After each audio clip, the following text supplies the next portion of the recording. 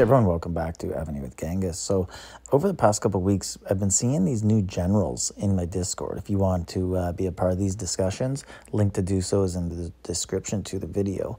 And they were just like a, a monster hunting general, etc. But today, I got a message from someone, and it showed something totally new. Good catch in the tavern. And I haven't seen this, and Evony loves to give us new generals, but who are these two? And what exactly is their skill? So it's these two ladies right here, Freya and Idun. So these are the two we're going to talk about, we're going to look at. And uh, they seem to be like some sort of reinforcement or building specialist. I guess kind of like Dimitri used to be, but it's worded really weird. Look at this. So increases ground troop defense, HP, when leading the army to defend outside the main city. Okay. And then we look at their special skills.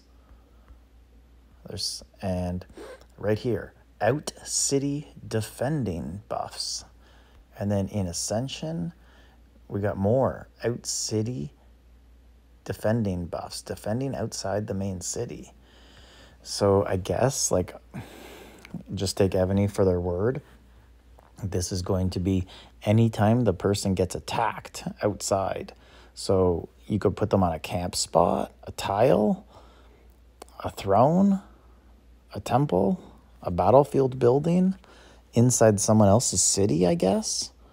I don't know. That seems really weird. Let's look at this one now increase range and siege when defending outside the main city. And then we look here and over here, out city defending. Okay, cool. And then here, everything is well outside the city. So uh, I guess most people, you really aren't going to be able to, you know, you just can't spec every general and ascend every general. So the average person isn't going to have these. But man, like I've shown you guys some reports when I've faced some really big players who have those march sizes that are like 8 million and you can't kill it. You, you can't kill it with three people. You can't kill it with 21, 22 million troops rallying into it. So then you're gonna add these buffs on top of it. If those big guys have them like wow it's there's gonna be crazy reinforcements going on. Um, very curious to see where these generals get dropped how you're gonna get them and then to see actually who will be using them. Um, luckily buffs are like 4000 now 3500 so add all this it's really only going to be like an extra 100 or something percent added onto it. So I know it sounds crazy to say buffs are at 4,000, so that's a good thing, but it will dilute a little bit of the value of these specialist generals. But uh, very curious to see how we can get them. And uh, of course, it's going to be a full cake price. We know that, but uh, it's not going to be free. It's not going to be an event. Maybe one will be in like a lucky event where you might get lucky, like in the Diwali event.